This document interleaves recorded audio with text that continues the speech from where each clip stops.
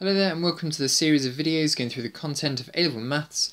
Here we're going to look at differentiating e to the x, ln x, and a to the x, where a is any number like 2 to the x, 3 to the x, 4 to the x, any number to the power of x.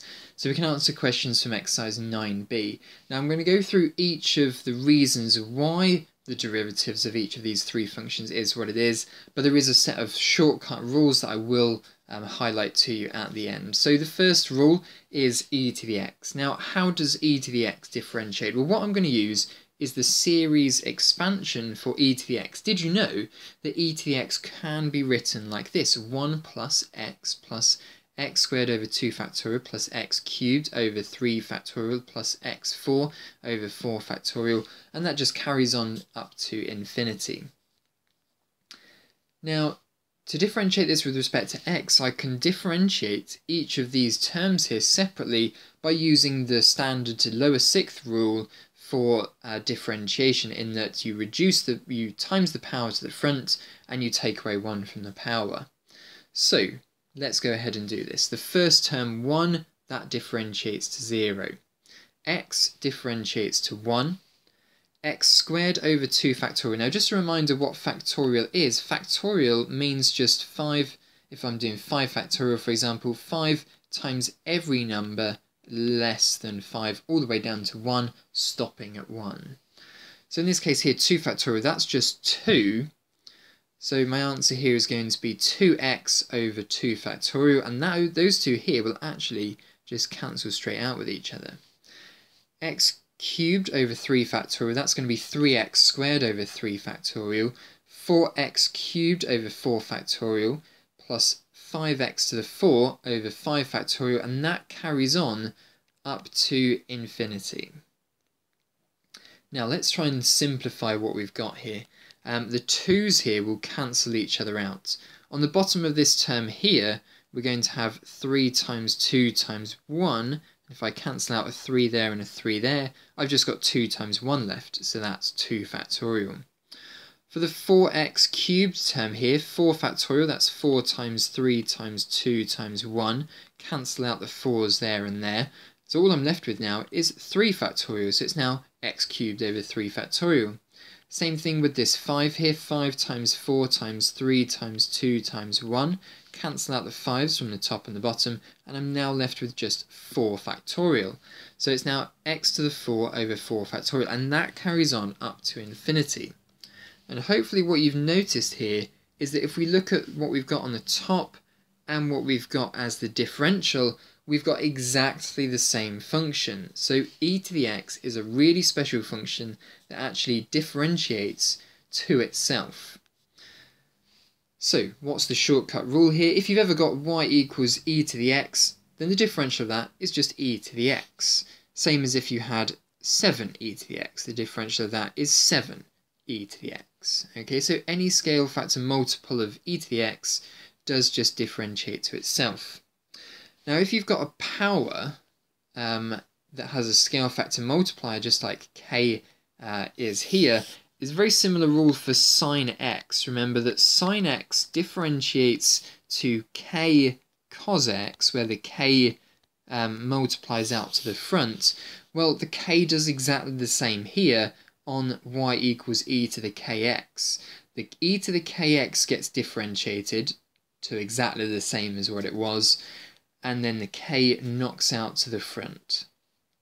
So in this case here, if you've got e to the, let's do an example quickly, e to the 3x, the differential here would be 3e to the 3x. So the number that's on the power that's multiplying by x just knocks down and is a scale factor multiple in front of the e to the 3x again.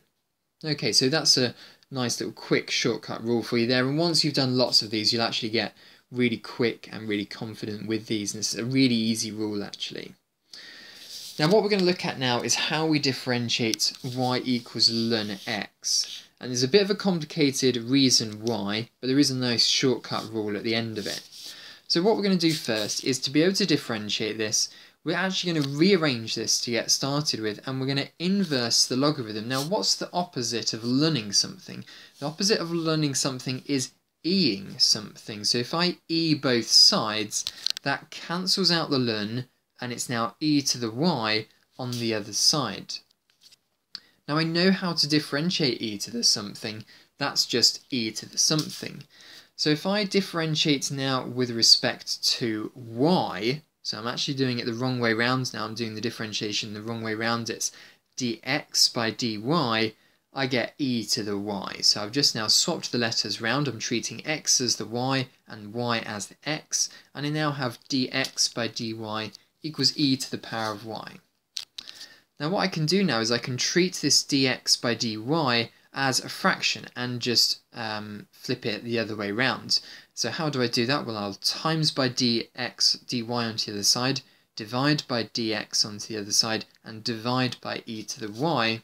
And once I've done all of that rearrangement, I get dy by dx equals 1 over e to the y. Now what was e to the y? Coming back up to here, e to the y is just x. So dy by dx here is 1 over x. So, what's the shortcut rule here? If I've got y equals ln of x, the differential of ln x is 1 over x. Okay, so that's your shortcut rule there. That is something that you can remember.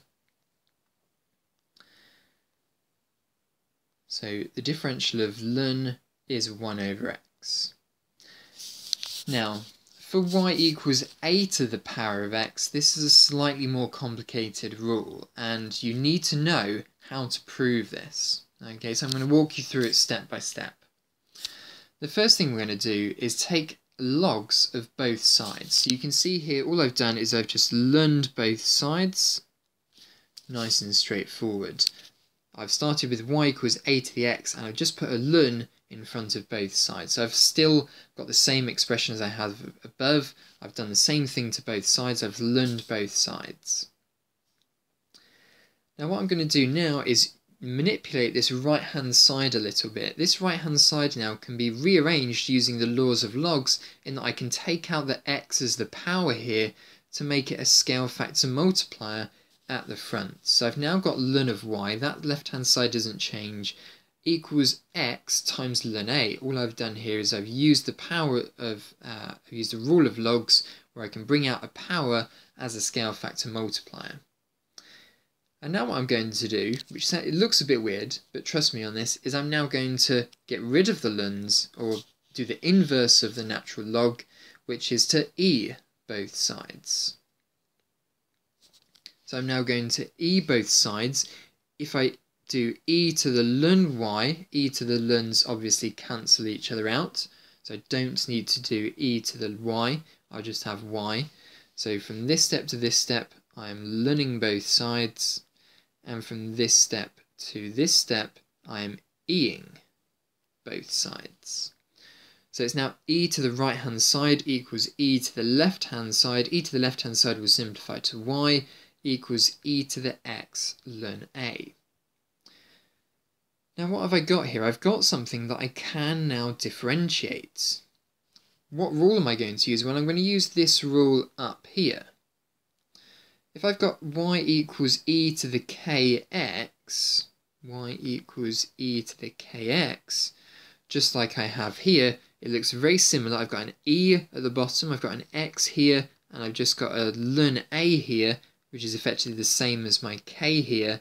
Then the derivative of this down the bottom here is going to be k e to the kx. So k here, that is representing ln a, is now going to differentiate to ln a, so this is effectively our k down the bottom here, e to the x ln a. Okay, so now it's ln a e to the x ln a. And now what I'm going to do is now I'm going to simplify what I've got here. e to the x ln a, well that's just what y is equal to, and y is obviously equal to a to the power of x. So bringing that a to the x back in, I'm going to have ln a times a to the power of x. And this is my final answer here. Okay. So if I want to differentiate, for example, e to the sorry, if I want to differentiate 5 to the power of x, my answer is going to be, well, ln of 5 times by 5 to the power of x. So not only do you need to know that shortcut and how to actually do the differentiation, but you do actually need to know and memorize how this works because it could be asked in the exam. It could be show that y equals 5 to the power of x. The differential of that is ln 5 times 5 to the power of x and you'd have to explain why going through all of these steps here. So the first thing you do is ln both sides, use power of logs to bring the x to the front. Then you do the reverse of that ln, which is e both sides. And then you use a rule of differentiation, which is e to the kx differentiates to ke to the kx. So that's why the ln a pops out to the front here. The ln a is effectively a scale factor multiplier on the x here, and the scale factor multipliers pop out to the front. And then you rearrange that e to the x ln a back into y and back into a to the power of x, and there we are, that's your final answer. Okay, so that's how we differentiate the three terms that we're going to look at today then. So what we're going to run through now is a few questions where it's just quick differentiation. So we're going to start off with y equals ln x cubed plus ln 7x. And what we're going to do here is we're going to use this rule of differentiation over here, but we're going to split this up a little bit beforehand. First thing I'm going to do is I'm going to bring the 3 out as a power. So I'm going to bring that out as a um, as a as a power using a law of log.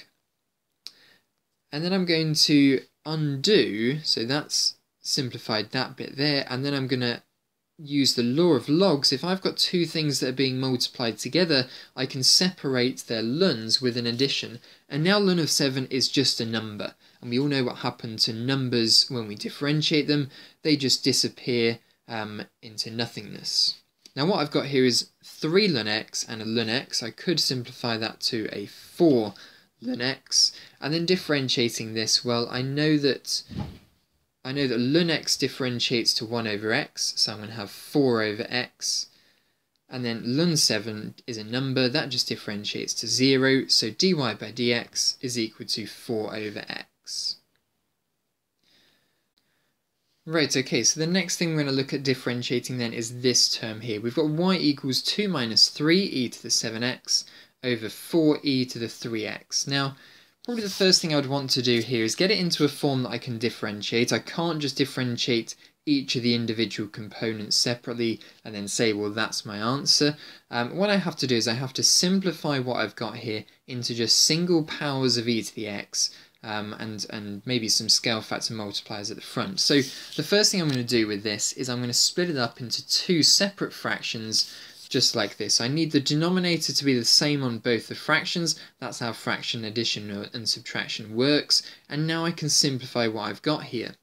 Looking at the numbers and what I can simplify the numbers to, well 2 over 4 simplifies to a half, and then it's going to be a half times e to the minus 3x because I've got e to the 3x on the bottom of a fraction here, um, so it's going to be e to the minus 3x. That's how the powers indices rule works. On the right hand term here, I've got 3 over 4 for the numbers, and then on the powers, I've got e to the 7x over e to the 3x. And if I'm dividing one indice by another, I take away the powers, so 7x take away 3x is going to be e to the 4x. So simplifying what I've got here, I've got half e to the minus 3x. It needs a minus on the power there because it's on the bottom of a fraction. And then it's going to be minus 3 quarters, don't change them around, and then it's going to be 7x minus 3x, that's e to the 4x. And now I can differentiate, and remember that with these numbers here that are in front of the x's, uh, that are on the powers of e, they're going to be scale factor multipliers out to the front, but we don't have to reduce the power by 1 um, in this rule here. It's only x to the power of something like 7 will I reduce the power by 1. In this case here it's a different rule, it's an E rule for differentiation, so I'm just going to multiply that number to the front. So for the differential here I'm going to have minus 3 over 2 e to the minus 3x. Notice here how I've multiplied the half and the minus 3 together to get minus 3 over 2. And on the last component here, I'm going to have 3 quarters times 4. That's just 3 e to the 4x. And there's my final answer. Okay, so your turn to have a go at a couple of questions here. Then there'll be lots of extra questions for you to have a go at in exercise 9b afterwards. But here's just two quick ones for you to have a go at.